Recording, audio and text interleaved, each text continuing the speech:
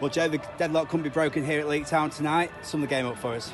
Um, it was uh, obviously tough conditions with the heat and stuff, but I thought we moved the ball well. Um, we were unlucky not to, to come away with, with the win, to be honest. But as it's pre-season, it's more about getting minutes and getting that fitness up for the start of the season.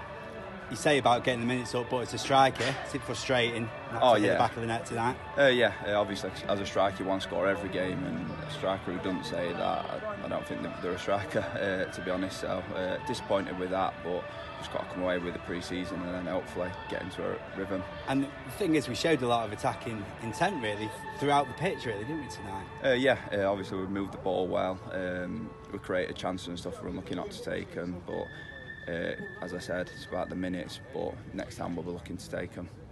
You say it's about the minutes as well. Um, as a result, a draw. Do we just forget about it and move on to Hartlepool now?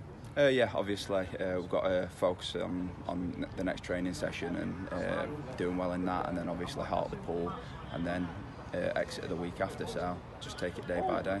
And just finally, in terms of fitness levels, how much of an improvement have you seen over the, the past few weeks you've been here? Oh yeah, uh, obviously training's been tough and that. Uh, the gaffers put on uh, tough sessions for us, but we're all getting through it, and it's all good. So uh, I'm happy with it.